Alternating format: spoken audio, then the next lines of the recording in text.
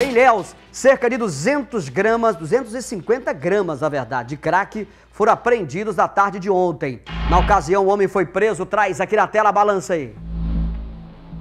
Mais uma apreensão da CIP Cacaueira, realizada aqui no município de Ilhéus na tarde dessa terça-feira, por volta das 15 horas e 30 minutos. Para falar sobre essa apreensão dessa droga, está aqui ao meu lado o sargento Jorge Carvalho. É, sargento, como se deu essa apreensão e se esse rapaz ele já tem passagem aqui pela polícia?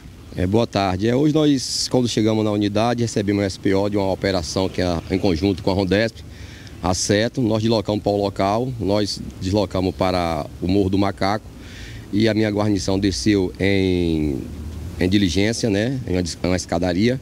E ao avistar, tinha três elementos. O elemento, quando avistou a presença da Polícia Militar, eles tentaram correr, nós demos ordem de prisão e na abordagem encontramos aquela pedra de crack, aproximadamente 250 gramas de 250 gramas, e logo após trouxemos mesmo para a delegacia.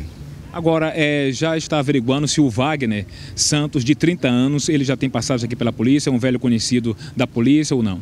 É, segundo informações, quando eu cheguei aqui na delegacia, ele é o tal do Massa Massa e já tem outras entradas aqui na delegacia. Obrigado, sargento, pelas informações. É o trabalho da Polícia Militar nas ruas aqui de Ilhéus combatendo a criminalidade. Com imagens de Sebastião Ribeiro, Renato Santiago para o Balanço Geral.